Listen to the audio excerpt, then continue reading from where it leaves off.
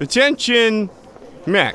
I'm awake. GameStop's going out of business. They're closing like a thousand, two thousand stores, What? and uh, it's only a matter of time before they close this one too.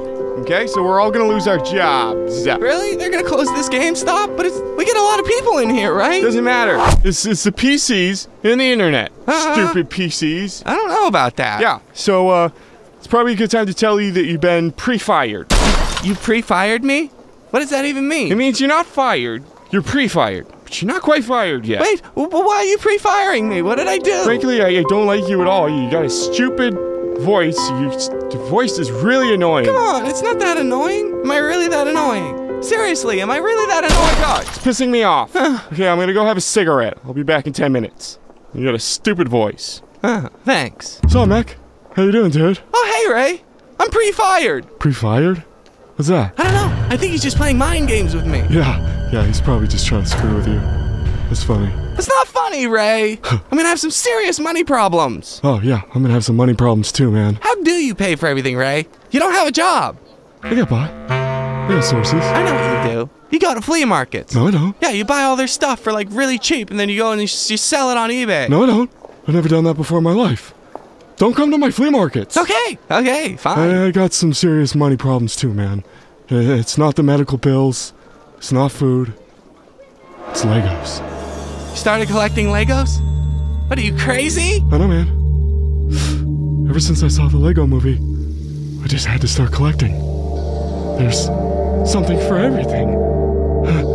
Marvel, Teenage Mutant Ninja Turtles, just random construction stuff, and they can all be in the same world. I'm sinking, Nick. And I need help. Help me.